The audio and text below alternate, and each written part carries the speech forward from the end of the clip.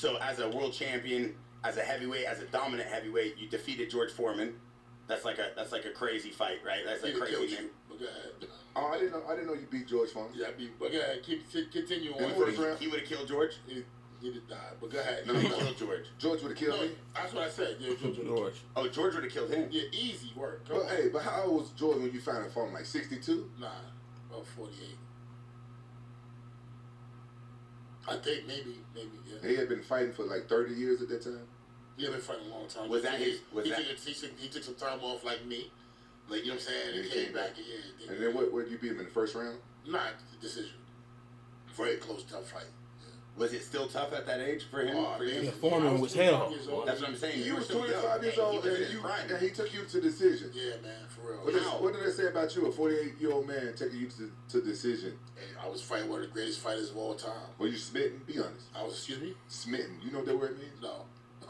no I don't get smitten. I don't get smitten. You was smitten. Huh? You got smitten that never- You got smitten that day when I Never been when that boy was pouring that juice in your mouth. But go ahead. that was smitten. I guess that's what smitten smitten mean. But go ahead, go ahead. Oh, What- you never heard the word smitten. I heard it, but go ahead. What you I trying was to say? What smitten oh, you for trying to Gail Or King. you, How about you was that? fanboy. you didn't want. You didn't want to. You didn't want to like.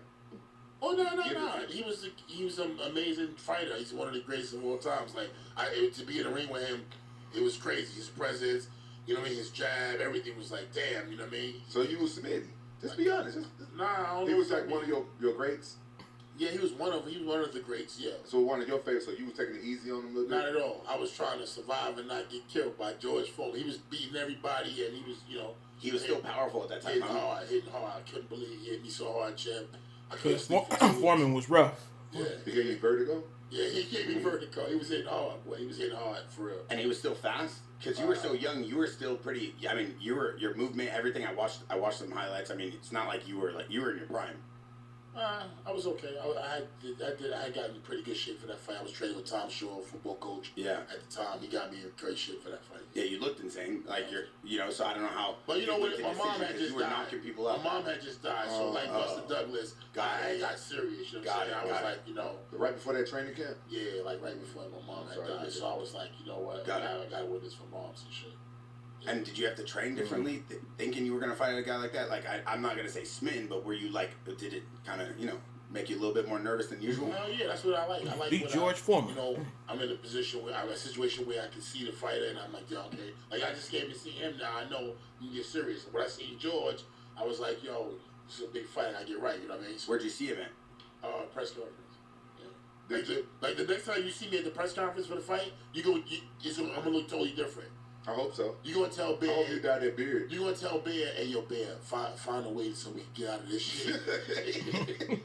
I ain't never back down for no You know what I'm fight. saying? Hey, find a way we can get out of this shit, man. We I done, I done messed around. Look at him. Hey, He hey, in shape. I'm gonna walk out to that song um, um, by by what's his name? Bone. By what's his name? Bone Crusher. Oh yeah. I ain't never Yeah, I ain't scared. I remember I ain't that. never That's a scared. good song.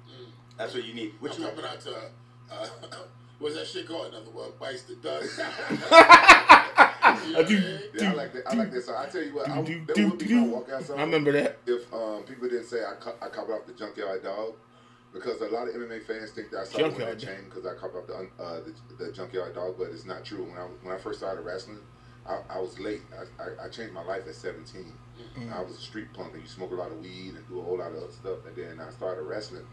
And by the time I changed Junkyard my life, Dog was 17 hell, in boy. Ninth grade, like all my friends were going to prison and dying and stuff. And man, I, I, I want something different. So I wanted to be a pro wrestler. That's something, boy. the junkyard dog was hell, boy. Yeah, that'd be something. And I can see, uh, cause what's name said he want to be a wrestler too, uh, cause Briggs is like six four, six five. I can see him getting in there. And um, what's the other dude? Um, Bob Sapp. If he if he got into wrestling, I said if Bob Sapp got into wrestling, that would have been something serious. And then he had the other guys want to be M- uh, MMA if uh, because if he was younger, Kurt Angle and uh, Van Dam, they could have got in there, or even Goldberg. That would have been um, that would have been something serious.